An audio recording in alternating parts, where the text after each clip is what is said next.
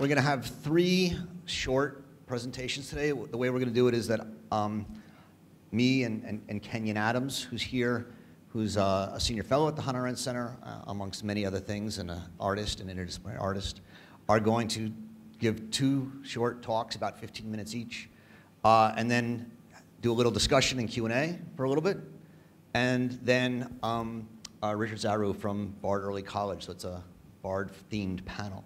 Um, uh, is gonna, he's a musician and composer, and he's gonna come and talk about um, John Cage. It's, it's, it's related, but a little different, so we thought we'd separate them and give chance for questions along these two panels first.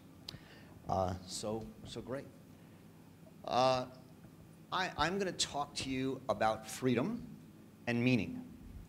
Um, these, when, when I run the Hannah Arendt Center, and when people ask me, well, what, who is Hannah Arendt, or what is Hannah Arendt about, I'll say that there's two primary, two controlling, or not controlling, two really amazing thought ideas in her work. One is what she says about freedom, and one is what she says about meaning. And I'm going to try and bring those two together today because I think they fit together. Um, human freedom, uh, Alan asked, you know, before said that uh, we don't know what is freedom, right? Is, you know, we ask, how, what, how is freedom work? Well, Arendt is interested in a specific kind of freedom. And first of all, it's human freedom. What does it mean to be freedom as a human being?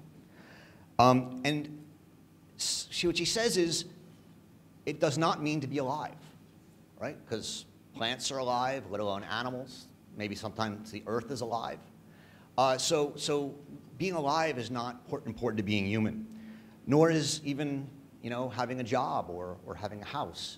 Lots of other uh, animals work or labor. Um, for her, uh, freedom is to live a meaningful life.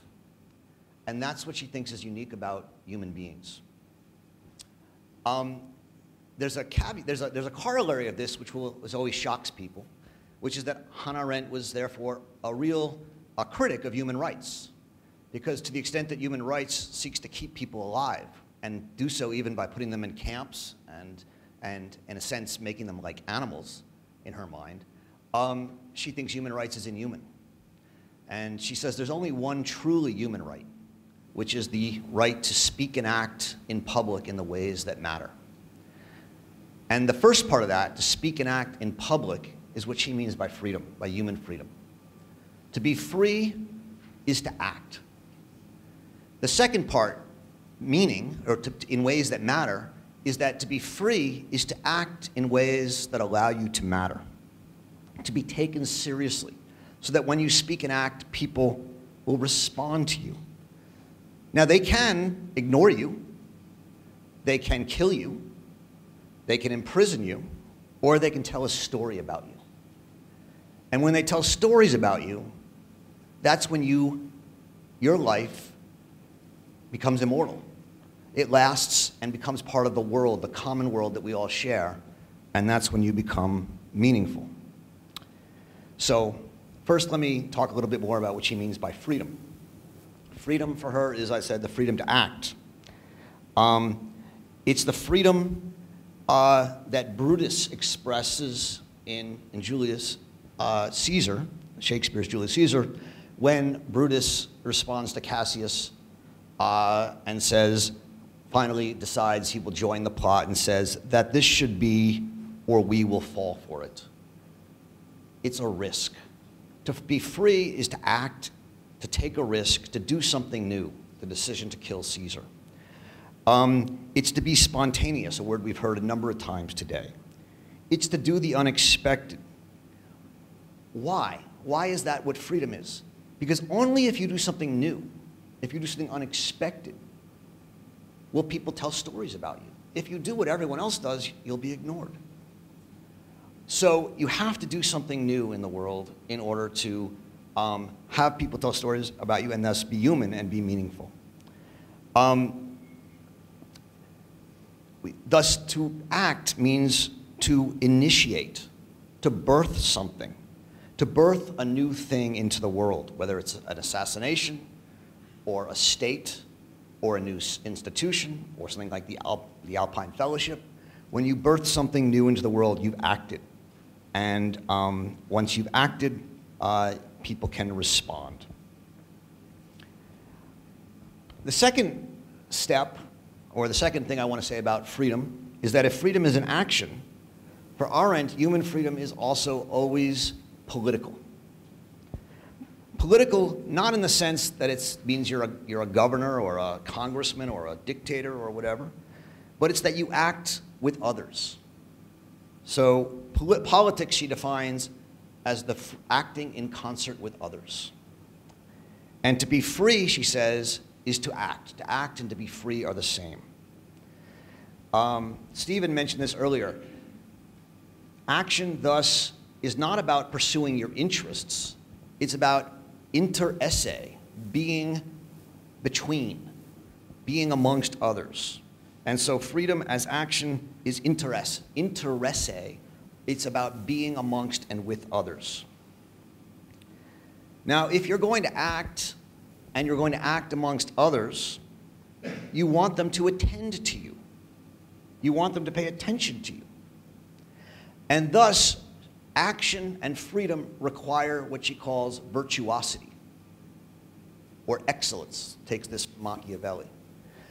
And thus, she says, human political freedom has a lot in common with performing arts. You can't be a good political actor if you don't know how to make people pay attention to you. Um, and thus, uh, political action requires not only virtuosity on your part, but it requires spectators or judges, an audience. If you're going to have political action, freedom, which is a kind of action in concert with others, which depends on virtuosity, you need a space, you need a stage, you need a place in which to act, a theater or an amphitheater or whatever it is.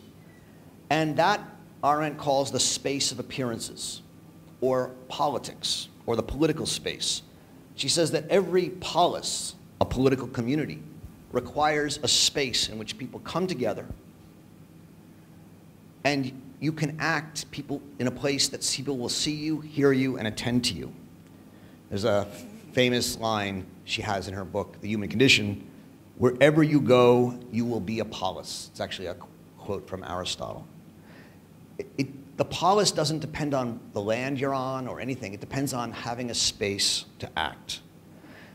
The word, our word politics, which comes from the Greek um, polis or politeia, um, comes from the Greek verb pelein, which is a crazy verb. It's not widely used, but it, it's the word the Greeks used to describe smoke rings coming up from a peace pipe. That's the root of politics. Why? The politician is the person who stands in the middle amidst the plurality of different people and speaks in such a way that the people who are different around them recognize that they share something in common. The politician is that person who speaks what is common and thus gathers the people in the cir circles around them. So if freedom is a kind of action, which depends upon virtuos virtuosity and requires a political space, freedom requires courage. Courage, Arendt says, is the first political virtue, the cardinal virtue of politics. Because if you're going to act in public in ways that are new and different, you're either going to be seen as a criminal and killed, think of Socrates or Jesus, or you're going to be ignored, which means you didn't have a certain virtuosity, or you can build something new. And thus, action, freedom, requires that you not care too much about your life. It requires that you not care too much if you live or die. You have to risk acting not for your life or your security or your happiness, but for the world. You have to, you have to think, I'm risking my life because the world that I want to make meaningful the world I want to help bring about is worth it. How does one separate oneself from the already existing world and say something new? And this is where Kenyon and my presentations will overlap a bit. It's in solitude. The precondition for the freedom of politics is having a space of solitude where you can be a jerk, where you can have prejudices, where you can develop your own private, unique perspective on the world. You then have to learn how to integrate that private, unique perspective into a public world in a way that's virtuous so that people respond to you. If not, you're an insane hermit crying into the, wood, into the, into the wind. The freedom to act in public and courageously express your opinions is the freedom to be judged. And this is the way you integrate yourself in the world. It depends upon a world that already exists, that came before us and will exist after us, that outlasts us. And political action, free action, is about trying to say something new that will take the already existing world and make it different, change it. And Arendt argues that this depends upon what she calls the imagination, what she borrows from Kant. The imagination is the enlarged mentality. It's my ability to think from the perspective of all of you. What do you think? What do you think? What do you think? And to test my own thoughts and opinions on from your perspective. What would you, you know, I may think we should kill all the Jews, but what would you think? What would you think? And how does that impact me? And I have to find a way to woo you to my opinions. That's the technical term that she uses. We need to woo others to us. And this wooing, which has a virtuosity and I think even a erotic element to it, a seduction, exactly, um, is what she calls judging. Judging is learning to take your opinion, test it through public interaction with as many perspectives, and then seek to woo others. And if you're successful in that wooing, you change the world. That's what freedom and politics um, means for her. So in judging, you have to overcome your egoism. You can only judge as a member of a community. Um, we were just talking at lunch about desire and responsibility. You need to take your, your own opinions, your own desires, and woo people to them in a way that fits them within the common sense of the community. And this brings me to second part. Um, so Arendt argues that in both art and in politics, the spectators are more important than the actors. It's an extraordinary claim, right?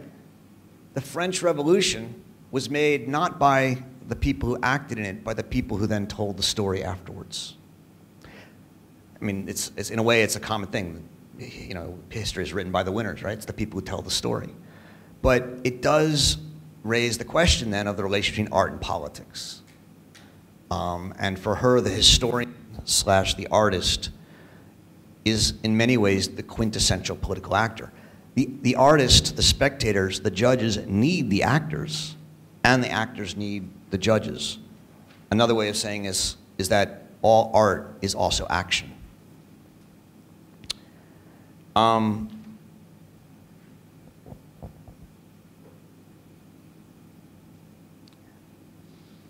I think that's, that's what I wanted to say in 15 minutes. And um,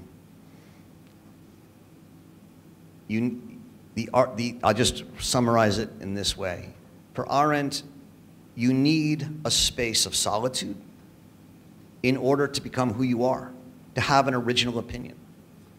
You need to be allowed to be crude and prejudiced and make mistakes and joke and do things that many of us are not allowed to do anymore because everything is recorded and everything is seen.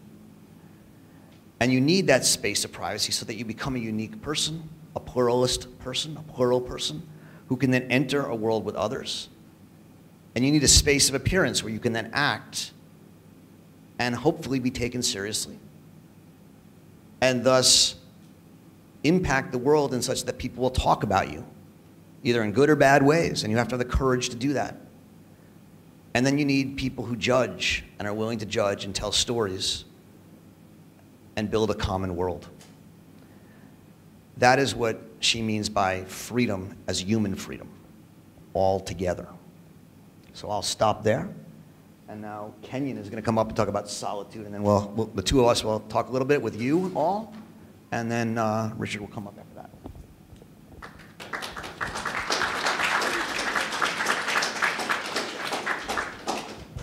I really hope that my life continues to be a place where conversations with Roger are just like a standard thing. Bit of shared solitude. Thank you, Roger, for your long term commitment to this kind of way of seeing and living. Okay. So I'm Kenyon, Kenyon Adams. I'm an interdisciplinary artist uh, and creative director. Um, it's important to say interdisciplinary because when I show up, it gets really interdisciplinary. so I try to let people understand what's about to go down. Um, not today, but beware, next time. Um, so I work at the intersections of the visual, literary, and performing arts. I've had the thrill to work with hundreds of artists and um, lots of different projects. Um, much of my artistic work, though, has been aligned with um, liberation movements liberation, uh, particularly black liberation, meaning the work of making or setting free, which involves naming and opposing systems of domination. Domination. That gives a little feedback. Yes. This attention has continually uh, given me a sense of how few people actually experience freedom and the ways in which the work of liberation can feel perennial relegated to the most vulnerable, and ultimately unsustainable. It's striking to consider that the impetus and the goals of some of the great freedom movements of the mid-century, uh, they revolved around a cup of coffee at a lunch counter. Think about James Baldwin's Notes of a Native Son, goes into the diner. What do you want? What do you think we want? A cup of coffee and a hamburger.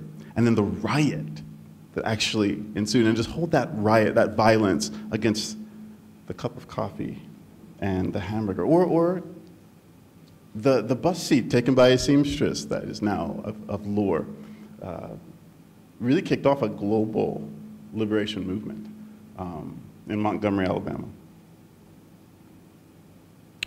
Uh, so the site of liberation and the experience of freedom is often located in the quotidian. I want to just briefly share about a project and brand that's become central to my thinking and making in the world and looking for collaborators, partners, and co-conspirators. It's called Future Solitude. That's the word up there in pink. Um, Future Solitude is a multidisciplinary platform that responds to the notion that solitude is a human right and one that's necessary for formation of self, for the enjoyment of citizenship, for uh, the sustaining of a sense of subjectivity, subjecthood. Uh, it includes Future Solitude, it, it, includes an art series which started this last year, premiered in Austin, Texas at the Fusebox Festival. Um, and, uh, you know, it's an ongoing residency, including other artists and collaborative projects that develop new works also at the intersection of photography, text, and performance. So the first sort of interdisciplinary issue of Future Solitude, called The Bearing of Witness and the Giving of Testimony, includes new music, a collection of photographs, and a trio of curated dance works. Future Solitude also serves as a brand consultant to industry leaders about the ways in which black and brown bodies and the bodies of difference in general are depicted and the narratives implied in those images, particularly in relation to solitude and subject formation. So the project has a three-point origin story, which I'll share since we just have a little bit of time. One has to do with my hair. The second, my grandfather's funeral. And then the third, um, my sort of experience in solitude and quarantine uh, in Brooklyn 2020. a family photo, let's say.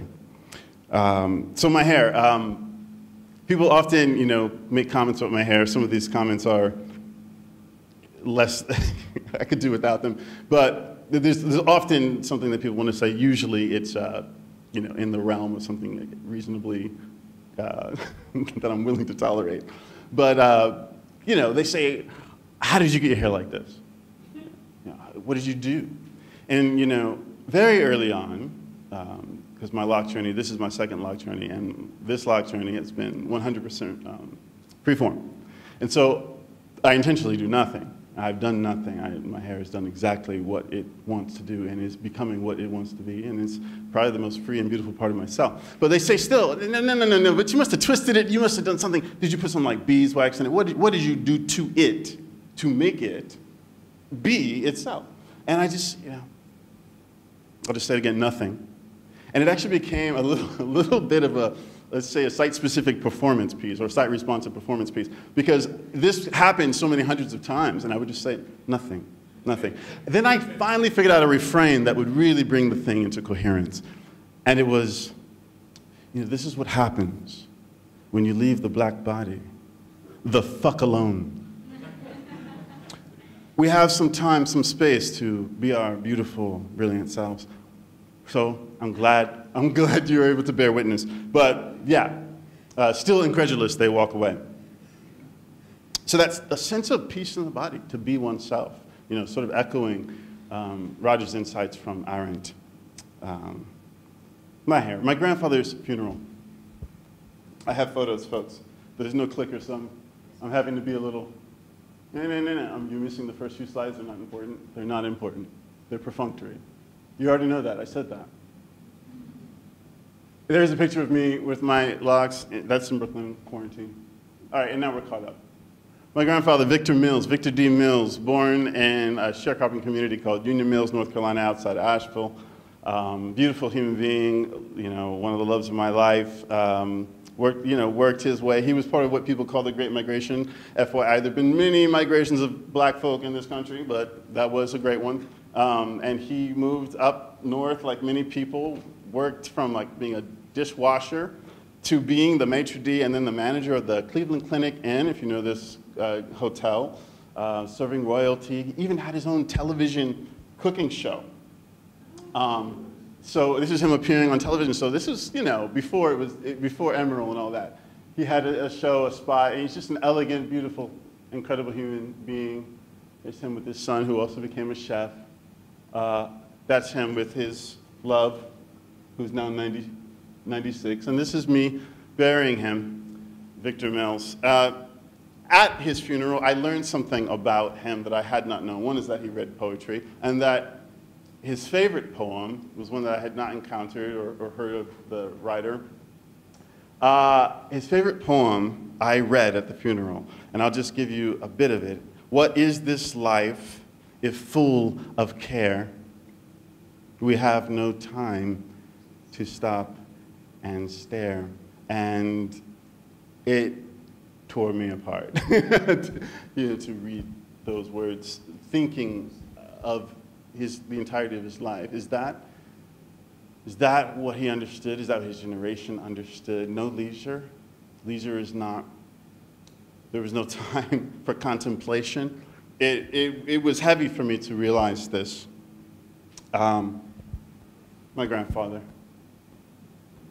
The third part is my experience Brooklyn 2020. So I came across this photo around the spring of spring of 2020.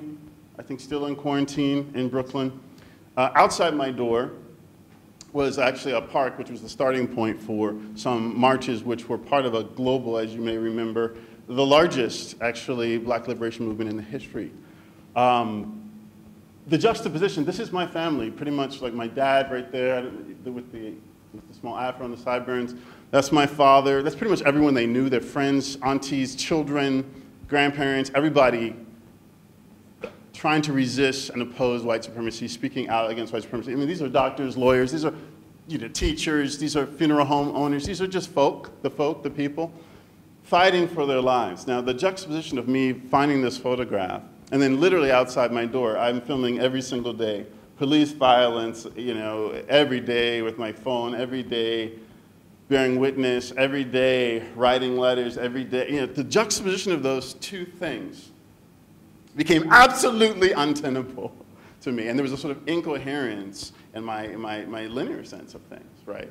Uh, I could not, let's say some part of my imagination, could not, could not imagine successive generations, which I'm seeing, I'm seeing myself in this because it's like almost like before I'm born, so I'm included in this photo, successive generations fighting for basic rights, a cup of coffee and a hamburger, you know, the, the basic right to be oneself uh, and become oneself. How am I doing on time?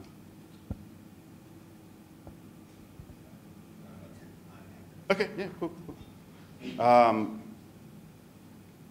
so yeah, it became untenable for me to imagine myself in that sort of lineage of striving, especially for the basics. Uh, I began to ask the question,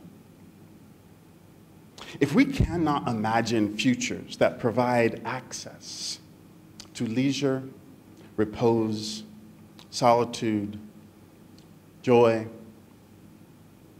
then what is the nature of the freedom we are seeking with the liberation movement? And I began to ask this question when I was sort of elbow deep in you know, all the many institutional responses um, and other kinds of work that was happening uh, during that, that period. Uh, I began to ask myself what other kinds of imaginations are required to be cultivated in order to have a future that manifests not only the possibility but the expectation of repose, of solitude. I begin to think, I don't think I'm interested in a, a liberation movement that's not going to evince that, or at least prioritize it. I begin to think of solitude as a fundamentally central indicator of liberation and freedom, the presence of justice. I often used to say joy is the goal of justice and love is the work but I really have been featuring solitude, access to it. Solitude, that imperturbability of one's subjecthood, uh, to me is the essence uh, and a fundamental principle, requirement even, for a just society and its citizens. So I began to walk around Brooklyn during the quarantine, trying to take a walk. And I began to try to think like, these are the folk. These children, these old folk, these people, these are the folk that literally, there's helicopters going over, you know, watching that and, you know, bearing, you know, bearing witness to that and um, in, making incursions into that space. Those children, those are the problematized bodies. So I'm just walking around looking for signs of solitude. And I began to capture images of young black folk. Um, I was in Bed-Stuy, Bed-Stuy, great community. Um, just capture images of young black people who were daily being targeted at that time and continually. Trying to myself cultivate an imagination of their solitude. And to find really a little bit of hope. I ran into two individuals who were teaching themselves how to skateboard for the first time. Uh, these, you know, I would say they're like young adults. Um, each of them teaching themselves by themselves how to skateboard. They allowed me to photograph them. And it, it, it was almost it was a contemplative space. It was a joyful space. It was a deep solitude. Um, kind of taking it up late in life, occasioned by the quarantine. Here's one of them named Dev. I had to cut some of these images just because we've got such wonderful light in this room, so I, I'm giving you the bright ones. Two boys sharing an AirPod.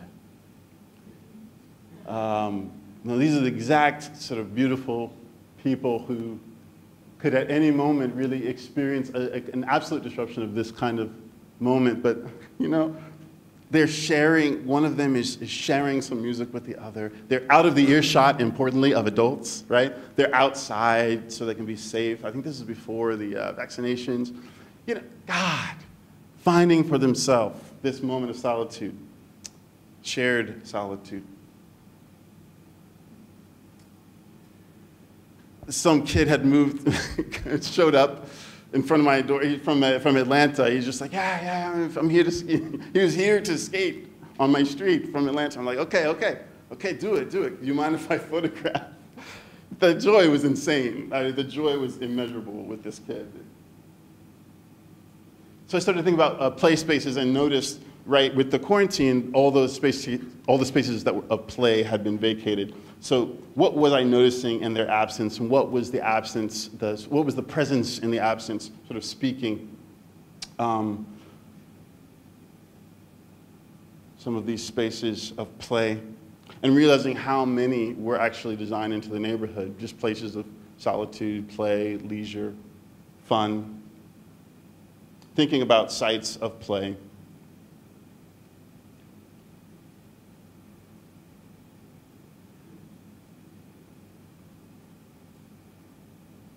And how contributive they are to the, the imagination um, and the schema of the daily life there.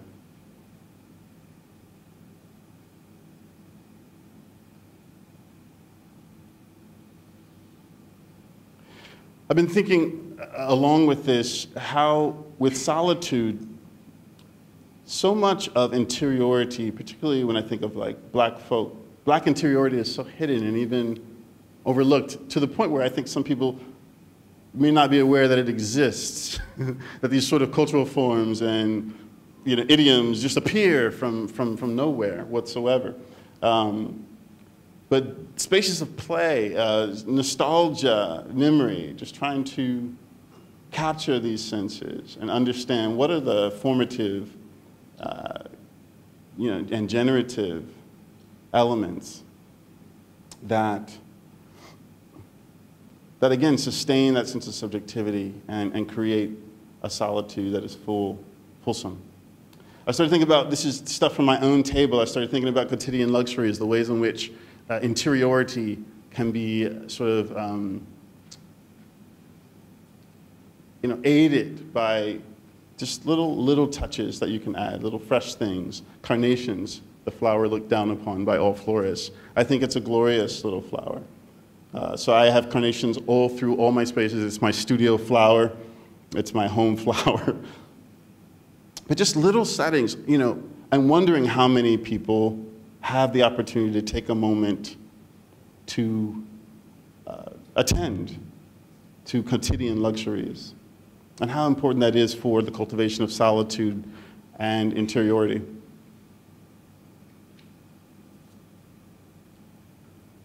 These are just plates and things we were doing in quarantine. I began to want to see lyrical bodies. I wanted to see black bodies and lyricism. I started to fantasize and think about um, what if we did a redux of Gene Kelly's famous solo in Singing in the Rain? You know, I want everyone to experience this. At the end of his solo, right, an actual police officer comes out. It's just, you know, he's dancing in the rain. And the police officer's there just like, what are you doing? Uh, how can you be behaving this way? What is this behavior? It's the rain. Why aren't you, you know, why? And he just goes, you know, I'm like, this is the particular embodiment I want for all black people, that we can be ourselves so much that even the, the state has to just say, I, I encourage your joy. So we did redo it and uh, replaced Gene Kelly with uh, the, the, the, great Kayla Farrish, a wonderful dance maker and choreographer in New York City. Recently won a Bessie for her work. And Saul Williams, um, mother, motherboardship, mother, mothership, board. I will have to find out the name of that piece. Uh, but this is Kayla dancing her own Singing in the Rain. We replaced the music with Bob Marley's um, Satisfy My Soul. Yeah, I think one minute. Yeah, I think I'm, I, I, I wanted to share this uh, notion of lyricism because, because I think in what I'm seeking in lyricism, it assumes all these things. It assumes interiority, it assumes um, the subjectivity that is able to be uh, undisrupted, unperturbed. I really think that that's what solitude can provide, and I think it's a requirement if we want to see a just future